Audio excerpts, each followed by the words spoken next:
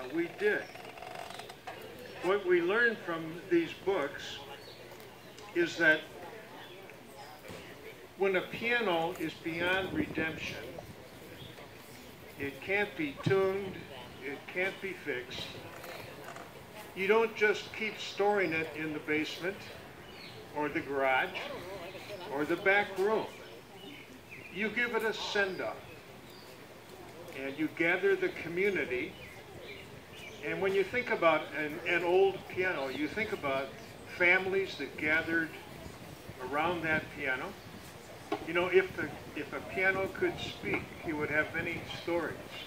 So it's a, it's a somber event on, on the one hand, almost a sacred event, but it's also a very festive event. We're going to give this piano its final send-off, and uh, rather than having it continue to be a burden on a place or a family.